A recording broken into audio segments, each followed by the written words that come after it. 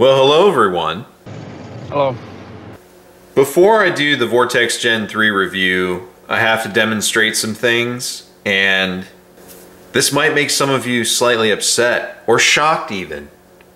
But not everyone tells the truth when describing their own optics, or some of these reviews that you see on YouTube, they're more ad reads than they are research. There's certain places I go when I need honest reviews on optics or whether they can be hard use or not people like C does, C underscore does, great channel. He's the reason I bought my P4XI, honestly. Thank you. His videos are pretty awesome. His optic reviews are very, very unique. I really appreciate his his work and he does very, very good jobs on his optic reviews. Nine Hole Reviews does a good job. Tiborasaurus Rex or Rex Reviews does a good job. Aaron Cowan will show you if uh, Optic can survive a drop test and he does a good job with his reviews as well. And Garand Thumb does some good work with his optic reviews as well. He's usually pretty balanced with his stuff. But there's a lot of guys out there that just do ad reads and there's also, I'm sure I forgot a couple channels in there so don't cut my head off. Some people just get a stat sheet and say, wow, this is a true 1X. Like my Steiner, for instance. And you get the optic and you start using it and you're like, hang on a second, that's not 1x. And sometimes it's not enough magnification to really matter, but C does is pretty excellent about calling that stuff out. The other channels will mention it, which is fine, it's their review format, but C does is really good about that. Now I have this revolutionary space age tool in my house that I use to judge whether an optic has fisheye or not, and what the magnification is at 1x, whether it's at or close to true 1x, or if it's slightly magnified at 1x. I call this tool the lie detector light switch. Using the space age technology at a measured distance of six feet, I use my island for reference so I'm in the same position each time. The eye relief is slightly different on each optic. So if the perspective looks different, I use a GoPro with my hand. I don't have a jig. And getting the eye relief right is different on each optic, so it may look slightly different, but I promise you, my hip is touching the same exact spot on the island. And I measured it to be six feet away. So six feet away from my legendary space age technology of the lie detector light switch, we're going to start taking a look at some of these optics. Using this tool, I will be able to reliably demonstrate slight magnification at 1x or whether or not there is fisheye present in the optic. For this video, I have six optics at my disposal.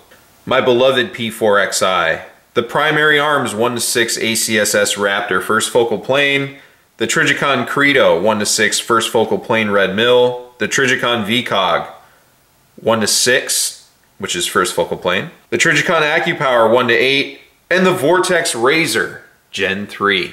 It's a small sample, but a pretty prevalent sample of optics for what people are using. I don't have an ATACR, unfortunately, and I don't make Schmidt and Bender money.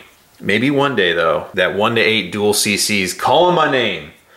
Let's kick things off with my beloved P4XI Man, that glass is clear. You can see some moderate increased magnification at 1x, something like 1.05 to 1.1-ish.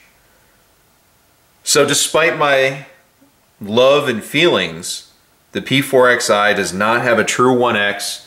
They ask you how you are, and you just have to say that you're fine when you're not really fine, but you just can't get into it because they would never understand. Sorry, Steiner. But it doesn't have any fisheye, which you can see, which is great.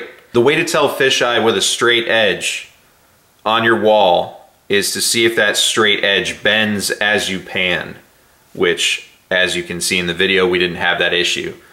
So the Steiner does have slight magnification at 1x, but no fisheye. Remarkably clear glass, daylight bright dot, a lot of fun features, but at 1x, it's not a true 1x. All right, let's move on to the primary arms. Raptor, ACSS, first focal plane. Oh geez, right off the bat we have some magnification. A touch of warm tint. And you can see the fisheye. Interesting. So we have some slight fisheye, nothing too terrible.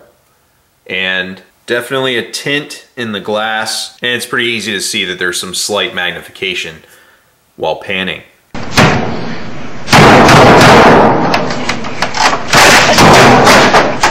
Okay, all right, okay. Allegedly. Okay, Dan. And okay. Okay, Dan. And okay.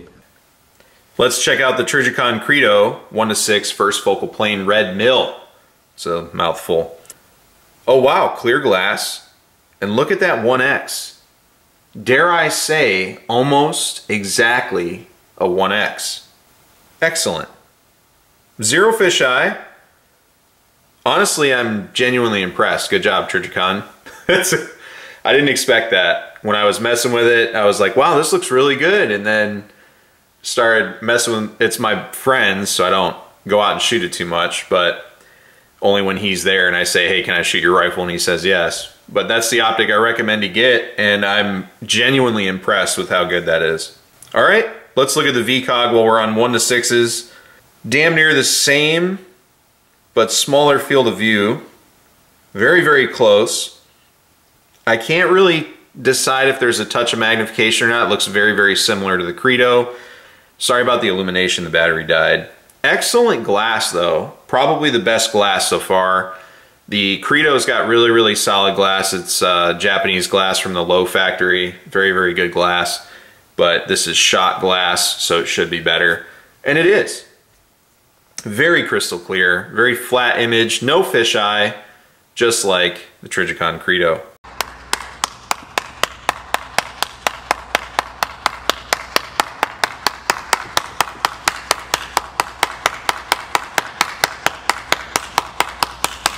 Guess we're on a Trijicon kick. Going to the older AccuPower 1 to 8. They've come out with the Credo, so this is going to be different. Now please ignore the probable shaking because it's a heavy rifle. But let's get to it. Pretty clear, nice small scope body, slight magnification, and maybe a slight tint even. No fisheye, just like the Steiner, just a little bit of magnification, but no fisheye, which is nice. And the glass is pretty good. I think the new Credo glass is better than the glass that's in the AccuPower, but I love my little, you know, F-150 optic. It's big and heavy, but it's reliable. That optic's never let me down. I've never had problems with it. Okay, Derek. They're okay. Okay, Derek. They're okay. All right. Now, the main event. The one everybody's probably here for the Vortex Razor Gen 3. Let's take a look. Nice clear glass with no tint. Oh boy. Slight magnification and some fisheye in my $2,000 optic. Wonderful. Looks like the lie detector light switch keeps all these optics honest.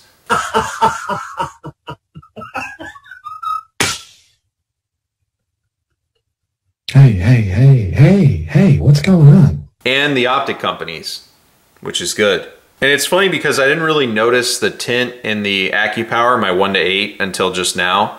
I don't really, I, in my review I said that it didn't really have tint, but it looks like there's a slight tint in the 1 to 8. I'm not sure if that's the lighting or what.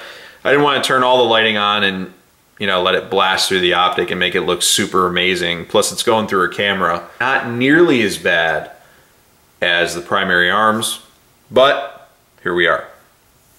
And the glass is much better in the AccuPower, but it's not the platinum line versus the AccuPower, so not quite same same. But it's slightly warm, could be dirty, I don't know, I'm gonna take a look at it. So this video isn't an indictment of the optics or fisheye or saying like, hey, fisheye is so terrible you can't use the op. There are, don't get me wrong, there are drawbacks from fisheye and there are some optics with incredibly awful fisheye. And really the only place that you see fisheye take effect, and you'll see this, in, C-Does demonstrates this, when you dial a lot of elevation and then try to zoom back in, the erector assembly is pointing through a different portion of the glass. So if the center of the glass is good, but it's the, I don't know, say that outermost 30 or 40 or 20 or whatever percentage, then whatever that percentage is, if you dial into that with the erector assembly, then you're gonna get a blurred image and it's gonna soften or it's gonna bend or something like that. There's some optic companies that always offer flat, precise images with no fisheye, but with slight magnification. And you're gonna run into that with optics and it's really hard to show that through cameras and then it's even harder for some people to get a hold of these. The reason I strive so hard to put a lot of time into these optic reviews when I do them and I am not the best guy to do it by far, don't get me wrong. I, the people I mentioned earlier, C does, Nine Hole Reviews, Aaron Cowan, Garand Thumb, all those dudes are uh, Rex Reviews, all those dudes are better at it than I am. The only thing is, for, I'm a regular dude. I have glasses and astigmatism, all right? So I look at it from a regular guy's perspective and I try to be as practical with stuff as possible. And there's a lot of guys that when they're doing YouTube videos, they either don't know what these things are or they're just doing ad reads or something, right? And this is not just because I didn't mention them in the initial group of guys that I just mentioned does not mean that I think they're automatically bad. It's a case by case basis, and some channels just pick something up from they get sent something, they're on short time, they read what the card says. All I'm saying is it's important for me to let everyone know from my perspective because I work for my money, I don't make money on YouTube, any of this other stuff. It's important for me to let you guys know what I'm experiencing and seeing and what you can expect because a lot of I had to buy this blind. I got to mess with one for a half a second because someone was cool with me and they're like, "Hey, this was, you know, purchased by a customer. You can be gentle with it. You know, don't don't do anything crazy." And I was able to look through it and I said, "Wow, the glass is really clear." And then gave it back to him. It wasn't until I purchased it, got it home, got it on the rifle, started messing with it that I started seeing different things. And it's the same with all these other optics.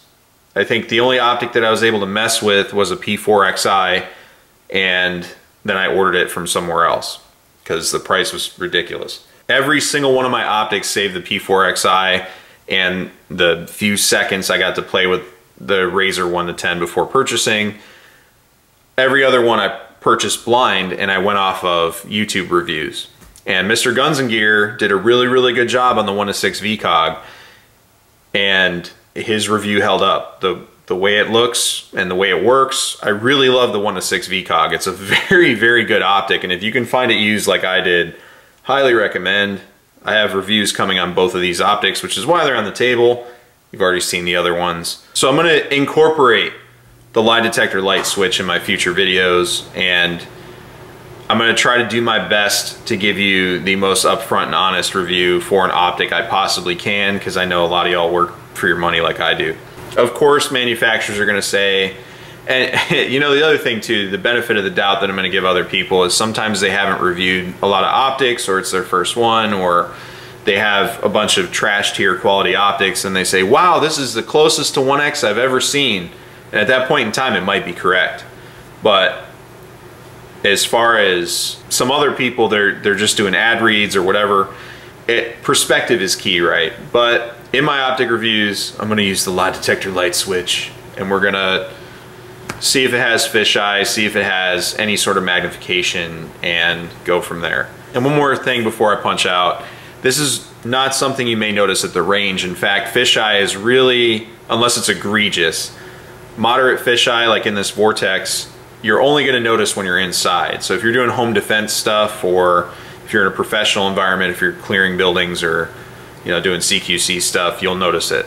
But if you're outdoors, you're not going to notice it. So it's all subjective as to how important it is to you, but noting that it's there and you can see how it looks through the through the glass, that's what's important to me. Not oh, this is so terrible, you'll never be able to use it, you're gonna die. It's, it's not like that, all right? Just wanted to do this to lay some groundwork. So when the Vortex Gen 3 review drops here soon after this video, it'll make sense, but there's a little bit of fisheye, a little bit of magnification, and most optics suffer from this. I think most of the time a quality 1 to 6, I've heard the Delta Stryker from C-Does and a few other guys that have reviewed it, the VCOG and the Credo have really, really close, if not true 1Xs. And there's a few other optics out there that do the same. And the 1 to 6 for some reason seems to be able to do that. The 1 to 8s, because of the magnification range, suffer from that. It may be a 4 power thing because my 1 to 4 does it as well. I don't know, but it's good to check it. Have some sort of standard measurement. So that's what I'm gonna do. Six feet away from the wall, hand across the light switch. Hopefully y'all can have this space age technology available to you as well. And all of you guys are doing okay out there. But as always, thanks for watching. Take care out there.